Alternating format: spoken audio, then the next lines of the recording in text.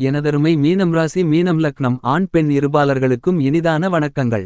குருபெயர்ச்சி பலன்கள். இரண்டாயிரத்து இருபத்து நான்கு ஏப்ரல் முப்பதாம் தேதி மேஷம் ராசியிலிருந்து ரிஷபம் ராசிக்கு கிருத்திகை நட்சத்திரம் ஒன்றாம் பாதத்திலிருந்து இரண்டாம் பாதத்திற்கு குருபகவான் பெயர்ச்சியாகிறார். குரு தன்னுடைய ஐந்தாம் பார்வையாக கன்னிராசியையும் ஏழாம் பார்வையாக விருச்சிக ராசியையும் ஒன்பதாம் பார்வையாக மகரம் ராசியையும் பார்வையிடுகிறார். தனுசுராசிக்கும் மீனராசிக்கும் அதிபதியாக இருக்கக்கூடிய குருபகவான் தன்னுடைய ஆதிபத்திய வீடுகளுக்கு அதாவது தனுசுராசிக்கு ஆறாம் இடமென்று சொல்லக்கூடிய ரிஷபம் ராசி மீனம் ராசிக்கு மூன்றாம் இடமென்று சொல்லக்கூடிய ரிஷபம் ராசிக்கு மாறுகிறார். சுகபோகங்களை கொடுக்கக்கூடிய சுகாதிபதியான சுக்கிரனின் ஆட்சி வீடான ரிஷபம் ராசிக்கு பெயர்ச்சியாக கூடிய பெருங்கொண்ட சுபகிரகமான தோஷமற்ற கிரகமான குருபகவான் எப்படிப்பட்ட பலன்களை உங்களுக்கு கொடுக்கிறாரென்று பார்ப்போம். மீனம் ராசிக்காரர்களாகிய உங்களுடைய ராசியின் அதிபதியாகவும் ராசிநாதனாகவும் உங்களுடைய ராசிக்கு பத்தாமிடமான வேலை தொழில் ஜீவனஸ்தானம் கர்மஸ்தானத்தின் அதிபதியாகவும் குருபகவான் இருக்கிறார். குரு மிகவும் வலுவாக உங்களுடைய ராசிக்கு மூன்றாமிடமான முயற்சி தைரிய வீரிய வெற்றி சகாயஸ்தானத்திற்குள் நுழைகிறார். நம்ம ராசிக்கு இப்படி ஒரு அதிர்ஷ்டமா என்று ஆச்சரியப்படக்கூடிய வகையில் இந்த குருபெயர்ச்சியில் ராசியின் அதிபதியான குருபகவான் ராசிக்கு மூன்றாம் இடமான வெற்றி சகாயஸ்தானத்திற்குள் நுழைவது வரவேற்கத்தக்க மிகச்சிறந்த அமைப்பாக மீனம் ராசிக்காரர்களாகிய உங்களுக்கு கருத முடியாது. ஆனால் அதே நேரத்தில் குரு பார்க்கின் கோடி நன்மைகளென்று சொல்லக்கூடிய விதத்தில் குருபகவானின் ஐந்து ஏழு ஒன்பது போன்ற சுபபார்வைகள் உங்களுடைய ராசிக்கு ஏழாமிடமான களத்திரஸ்தானம் சப்தமஸ்தானத்திலும் ஒன்பதாமிடமான பாக்கியஸ்தானத்திலும் ராசிக்கு பதினொன்றாமிடமான லாபஸ்தானத்திலும் வலுவாக விழுகிறது. எனவே உங்களுடைய சப்தமஸ்தானம் பாக்கியஸ்தானம் லாபஸ்தானம் வலுப்பெறுகிறது. ஆக தைரியத்துடனும் துணிச்சலுடனும் எதிர்பார்ப்புகளை பூர்த்தி செய்யக்கூடிய ஆற்றல்கள் மிக வலுவாக கிடைக்கிறது. லாபங்களை அதிகரிப்பதற்கான நல்லபல அதிர்ஷ்ட முன்னேற்ற சூழல்களும் கண்டிப்பாக அமைகிறது என்பதை உங்களுடைய ராசியின் அதிபதியாக இருக்கக்கூடிய குருபகவான் இந்த குறுப்பெயர்ச்சி காலகட்டத்தில் உறுதி செய்கிறார். இந்த குறுபெயர்ச்சி காலகட்டம் பொதுவாக எப்படி அமைகிறது என்று பார்க்கின்றபோது ஒரு சுழற்சியை முழுமையாக அடைவதற்கு பன்னிரண்டு ஆண்டுகள் எடுத்துக்கொள்கின்றன ஏனெனில் குரு ஒவ்வொரு ராசியிலும் ஒரு வருடம் மிகவலுவாக சஞ்சரிப்பார். அப்போது அந்த இதத்திற்கு ஏற்றாற்போல் பல்வேறு விதமான பலன்களை ஏற்படுத்திக் கொடுப்பார். அதுபோன்றுதான் இந்த இரண்டாயிரத்து இருபத்து நான்கு ஏப்ரல் மாதத்திலிருந்து இரண்டாயிரத்து இருபத்தைந்து ஏப்ரல் மாதம் வரை ரிஷபம் ராசியில் தனது பகை கிரகமான சுக்கிரனுடைய ஆட்சி வீட்டில் சஞ்சரிக்கிறார். இது குருவிற்கு சற்று சாதகமற்ற அமைப்பாக இருந்தாலும் கோல்சார விதியின் அடிப்படையில் பார்க்கின்றபோது இரண்டு ஐந்து ஏழு ஒன்பது மற்றும் பதினொன்று ஆகிய இடங்களில் குரு பயணிக்கும்போது மிகவும் அபரிவிதமான வளர்ச்சிகளையும் முன்னேற்றங்களையும் அள்ளிக் கொடுக்கக்கூடிய மிகச்சிறந்த அமைப்பாக கருதப்படுகிறது. ஏனெனில் இவர் முழு சுபகிரகமாக இருக்கிறார். பாவகிரகங்களுடன் சேர்ந்தாலும் கூட பாவகிரகங்களின் சேர்க்கையின் காரணமாக அசுபகிரகமாக மாறாத ஒரு சிறப்பு குருபகவானிடம் மட்டும்தானுண்டு. ஏனெனில் பாவகிரகங்களால் ஏற்படக்கூடிய தோஷங்களையும் நீக்கி நல்லபல அதிர்ஷ்ட முன்னேற்ற யோகங்களை கண்டிப்பாக ஏற்படுத்திக் கொடுப்பார். ஆனால் இந்த இடங்களைத் தவிர மற்ற இடங்களில் குரு சஞ்சரிக்கும்போது பெரிய அளவிற்கு குருவிடமிருந்து வரக்கூடிய நன்மைகளை மற்ற கிரகங்கள் தடைப்படுத்துவதற்கான வாய்ப்பையும் சக்தியையும் பெறுகின்றன. அதிலும் குறிப்பாக குருபகவான் ஜென்மராசி மூன்று ஆறு பத்து எட்டு பன்னிரண்டு ஆகிய இடங்களில் சஞ்சரிக்கும்போது அவரால் எந்தவிதமான சிரமங்களும் ஏற்படாது. கண்டிப்பாக தடையும் ஏற்படாது. ஆனால் நட்பலன்கள் கொடுக்கக்கூடிய அமைப்பு என்பது தாமதமாக கிடைக்கலாம். இந்த இடங்களில் சஞ்சரிக்கும்போது மற்ற கிரகநிலைகளின் ஆதிக்கம் எப்படி இருக்கிறது அதை பொறுத்துதான் குருவிடமிருந்து கிடைக்க வேண்டிய நன்மைகள் விரைவாக கிடைக்கிறதா அல்லது தாமதப்படுகிறதா என்பதை நாம் உணர்ந்து கொள்வதற்கான வாய்ப்புகளை குரு உறுதி செய்கிறார். ஏனெனில் குருபகவான் முழுமையான பெருங்குண்ட சுபகிரகமாகவும் தோஷமற்ற கிரகமாகவும் இருக்கிறார். அவரிடமிருந்து எந்தவிதமான பாதிப்புகளும் கண்டிப்பாக ஏற்படாது. எனவேதான் நவகிரகங்களிலேயே குருவினுடைய பெயர்ச்சியானது மிக கவனிக்கத்தக்கதாகவும் உன்னிப்பாகவும் மக்கள் மத்தியில் பார்க்கின்ற ஒன்றாக கருதப்படுகிறது. அப்படிப்பட்ட சக்தி வாய்ந்த குருபகவான் வானியல்களின் அரசனென்றும் ஜோதிடத்தின் தலைவனென்றும் போற்றப்படுகிறார்.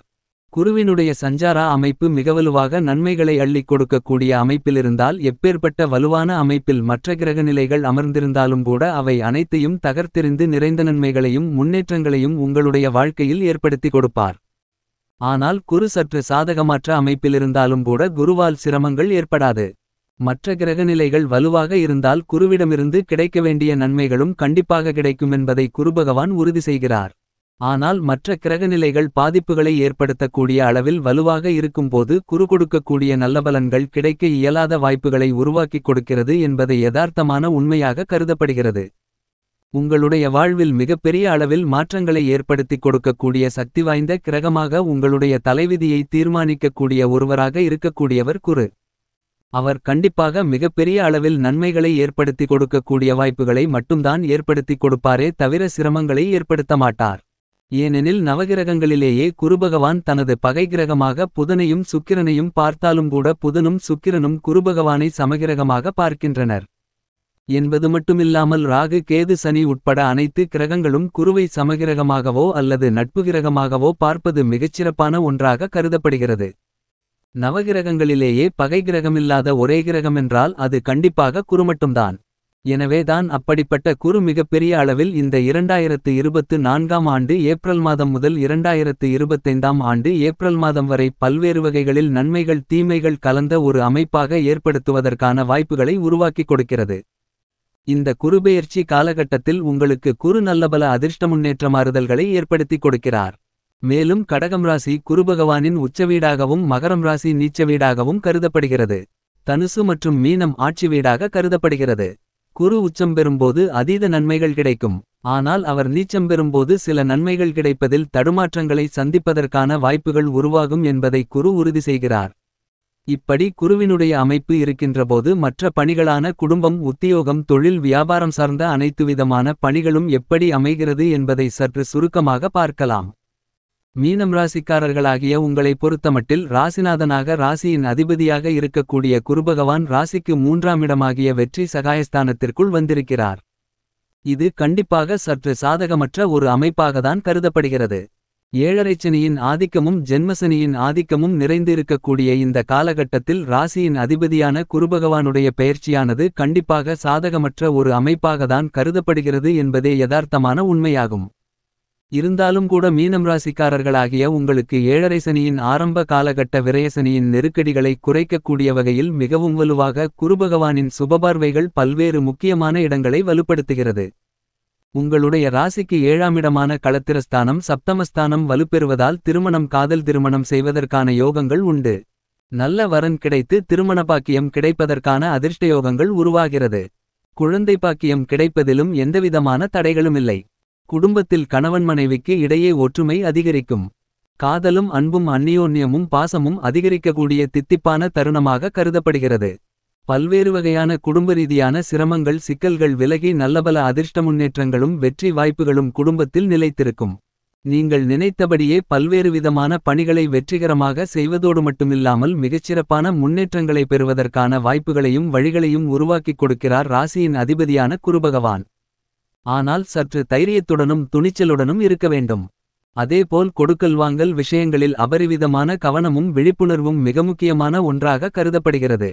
விரயசனியின் ஆதிக்கமிருக்கும்போது ராசியின் அதிபதியான குருபகவான் வெற்றி சகாயஸ்தானத்தில் தைரியஸ்தானத்தில் நுழைவதால் சற்று விழிப்புணர்வு தேவை. ஆனால் குருபகவான் உங்களுடைய ராசிக்கு பதினொன்றாம் இடமான லாபஸ்தானத்தை மிகவலுவாக பார்ப்பதால் குடும்ப வருமானங்கள் உயரும். பெரிய அளவிற்கு வீண்விரய செலவுகள் ஏற்படாத வகையில் சுபவிரயங்களாக மாற்றிக்கொள்வதற்கான வழிகளை கண்டிப்பாக குருபகவான் உருவாக்கிக் கொடுக்கிறார். வீண்விரய செலவுகளை தவிர்க்க அசையும் அசையா சொத்துக்களை வாங்கி முதலீடுகள் செய்வது இந்த குருபெயர்ச்சி காலகட்டத்தில் சிறப்பு. கலைத்துறை சார்ந்த விஷயங்களிலும் மீனம் ராசிக்காரர்களாகிய நீங்கள் சற்று விழிப்புணர்வுடன் செயல்பட வேண்டிய ஒரு காலகட்டமாகத்தான் அமைந்துள்ளது. சனி பகவானின் ஆதிக்கத்தின் காரணமாக உத்தியோகம் ரீதியான பணிகளில் அலைச்சல்கள் அதிகரிக்கலாம். எதிர்பாராத இடம் மாறுதல் உள்ளிட்ட சில விஷயங்கள் ஏற்பட்டாலும் கூட அவற்றை தைரியத்துடனும் துணிச்சலுடனும் எதிர்கொள்ளக்கூடிய ஆற்றல்களை ராசியின் அதிபதியான பெருங்கொண்ட சுபகிரகமான தோஷமற்ற கிரகமான குருபகவான் கண்டிப்பாக உங்களுக்கு உருவாக்கிக் கொடுக்கிறார். எனவே இந்த காலகட்டத்தில் உத்தியோகம் ரீதியாக பணிச்சுமைகள் அதிகரித்தாலும் கூட இனிமையான சூழ்நிலையாக மாற்றிக்கொள்வதற்கான வாய்ப்புகளும் யோகங்களும் கிடைக்கிறது.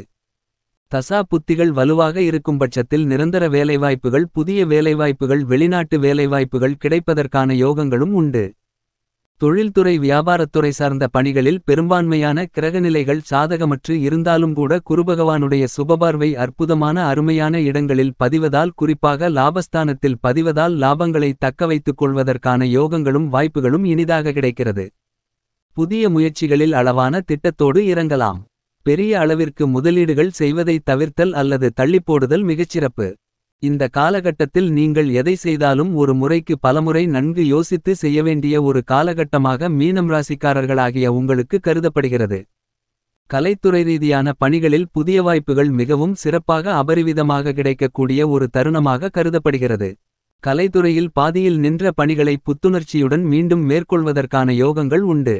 அரசியல் சார்ந்த பணிகளில் ஏழரை சனியின் ஆதிக்கமிருந்தாலும் கூட இந்த காலகட்டத்தில் எதிர்பார்த்தபடியே அரசியல் சார்ந்த பணிகளை மிகச்சிறப்பாக கையாளுவதோடு மட்டுமில்லாமல் தைரியத்துடனும் துணிச்சலுடனும் வெற்றிகளை பெறுவதற்கான யோகங்களும் குறுபெயர்ச்சி துவங்கியதிலிருந்தே மிகவும் சிறப்பாக கிடைக்கிறது. வெகுளித்தனமான நடவடிக்கைகளில் மட்டும் சற்று மாறுதல்களை ஏற்படுத்திக் கொள்ளுங்கள்.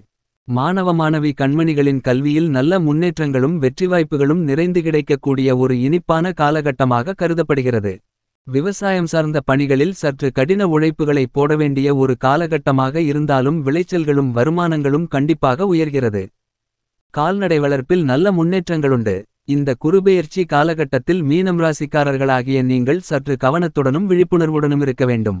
ஏனெனில் குறு தைரியஸ்தானத்திற்குள் நுழைந்திருப்பதால் எதிர்பாராத சில பிரச்சனைகளும் சங்கடங்களும் தலைதூக்குவதற்கான வாய்ப்புகளுண்டு. எனவே மீனம் ராசிக்காரர்களாகிய நீங்கள் சற்று விழிப்புணர்வுடன் செயல்படுதல் நல்லது.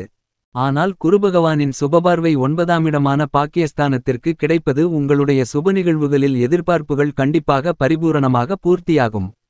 மேலும் சாதகமாக மாற்றிக்கொள்ள வேண்டுமென்றால் கண்டிப்பாக மீனம் ராசிக்காரர்களாகிய நீங்கள் குருபெயர்ச்சி துவங்கியவுடன் ஆலங்குடி குருபகவானின் திருத்தலத்திற்கு சென்று குருபகவானை தரிசித்து வாருங்கள்.